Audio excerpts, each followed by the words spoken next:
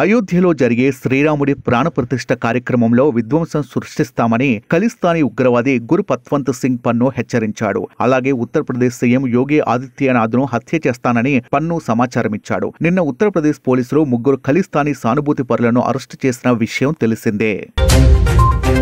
అయోధ్య రామమందిర ప్రారంభోత్సవ కార్యక్రమాన్ని మల్టీప్లెక్స్ల్లో లైవ్ స్క్రీనింగ్ చేయనున్నారు. దేశంలోని డెబ్బై ప్రధాన నగరాల్లోని నూట డెబ్బై కంటే ఎక్కువ కేంద్రాల్లో ప్రత్యక్ష ప్రసారం చేసేందుకు పీవీఆర్ ఐమాక్స్ ఏర్పాట్లు చేశాయి. ఉదయం పదకొండు గంటల నుంచి మధ్యాహ్నం మూడు గంటల వరకు బిగ్ స్క్రీన్ పై ఈ రామ్ మందిర్ ప్రారంభోత్సవ లైవ్ను వీక్షించవచ్చు.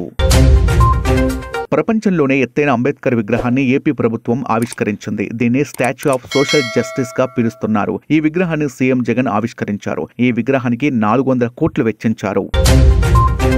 వైఎస్ షర్మిల రేపు పీసీసీ చీఫ్గా బాధ్యతలు చేపట్టనున్నారు. అంతకుముందు ఈ రోజు ఆమె ఇడుపులపాయకు వెళ్ళి తండ్రి వైఎస్ఆర్ సమాధికి నివాళులు అర్పిస్తారు. రాత్రి అక్కడే బస్ చేసి రేపు ఉదయం పదకొండు గంటలకు విజయవాడలో ఆమె పీసీసీ పగ్గాలు చేపడతారు.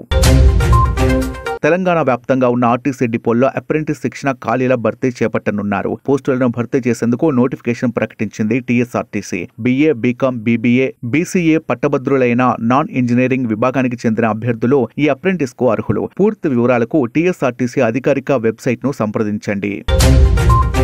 పెట్టుబడులను ఆకర్షించడంలో తెలంగాణ కొత్త రికార్డు నెలకొల్పింది. దావోస్లో జరిగిన సదస్సులో తెలంగాణకు పెట్టుబడులు వెల్లువెత్తాయి. సీఎం రేవంత్ రెడ్డి పర్యటించిన తొలి రోజే ఊహించిన స్థాయిలో పెట్టుబడులు వచ్చాయి. స్విట్జర్లాండ్ నుంచి ఏకంగా నలభై వేల కోట్ల పెట్టుబడులు వచ్చాయి. ఉస్మానియా యూనివర్సిటీలో చిరంజీవి అనే విద్యార్థి గుండెపోటుతో మృతి చెందాడు. ఓయూ కామర్స్లో పూర్తి చేసిన చిరంజీవి ప్రస్తుతం పోటీ పరీక్షల కోసం ఓయూ హాస్టల్లో ఉంటూ ప్రిపేర్ అవుతున్నాడు. పాకిస్తాన్ క్రికెట్ బోర్డులో ప్రకంపనలు మొదలయ్యాయి. బోర్డు చైర్మన్ జకా అష్రఫ్ తన పదవి నుంచి తప్పుకుంటున్నట్లు ప్రకటించాడు. అంతకుముందు Pakistan team director Mickey Arthur head coach Grant Bradburn batting coach Andrew Puttick తమ పదవులకు రాజీనామా చేసి షాక్ ఇచ్చారు.